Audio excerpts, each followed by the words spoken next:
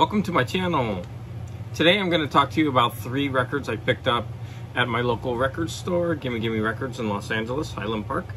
Um, I highly recommend you visiting that store.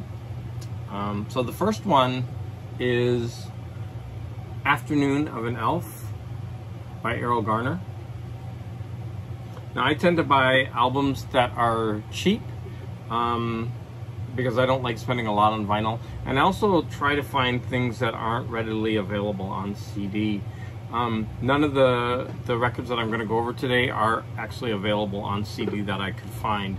Some of the songs are available in compilations. Now, of the three that I'm going to go over, Erroll Garner seems to have the most.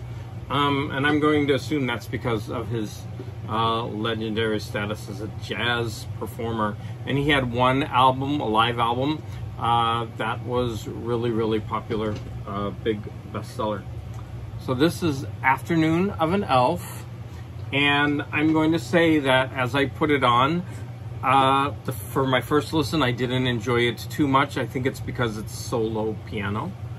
Um, but as I was listening to it the second and third time, uh, I was um, moving my feet to the music. So I think that this is a recording that will grow on me over time. You'd like to see the track listing. Now I don't know what this Whacker series is. Maybe I should look that up, but it was just on the back. So the, that's the track list.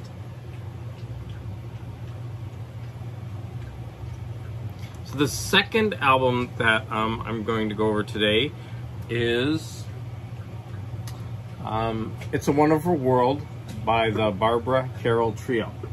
I'd never heard of this woman before, so after doing a, a Google search, I did see that she she had some uh, popularity, then she had a break in her career, and then she had a comeback later in her career. Um, if you ever have a chance to see this album, the back of the album, I don't know if maybe you can pause that, but the first paragraph is just so sexist. It starts off with a quote by George Bernard Shaw The greatest assistance the average young lady musician can render to others is to stop. And I mean, it goes on to say, we all know that it's true what they say about lady football players. Oh no, he said, there are still two things women can't do play football and play the piano. So, the back of this is um, interesting in itself just for the review. Um, I found that I really enjoyed this album. Let me show you the track list. Oh, it's at the top.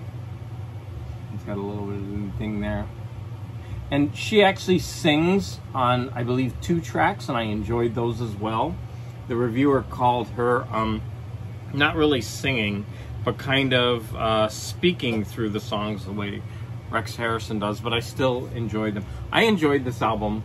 Um, if you look up Barbara Carroll, you can find a compilation albums. This one isn't available on CD. Uh, you can find her on streaming as well, but not that particular album. And the final one that I'm going to uh, go over today is Pat Suzuki's uh, Broadway 59. Unfortunately, there's this annoying sticker here. I hope I can get that off. But look at that cover. Isn't that infectious? She makes me happy just looking at this cover.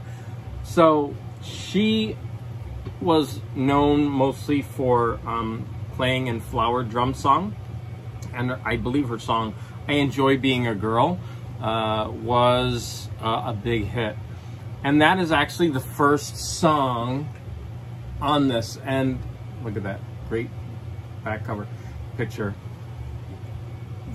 I mean, 30 seconds into this, you know she's a singer. She belts that song out. She's awesome. If you've never heard her, you really have to. She's so good. So, when I looked her up on um, Wikipedia, I found out some interesting things. She and her family had been in the internment camps, the Japanese internment camps. Um, she was a star, one of the stars, of the first Asian American TV sitcom show. Um, so very interesting.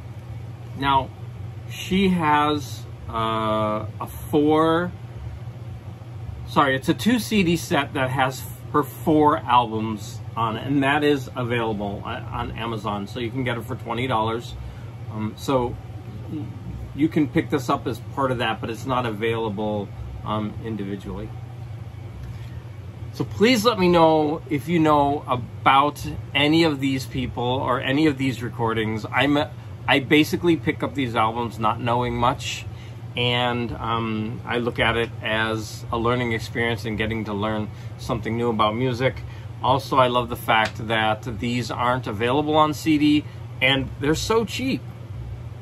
I think I paid five dollars for each one, and to me that was expensive. I normally get these albums for two to three dollars, right? But um, I splurged on these three.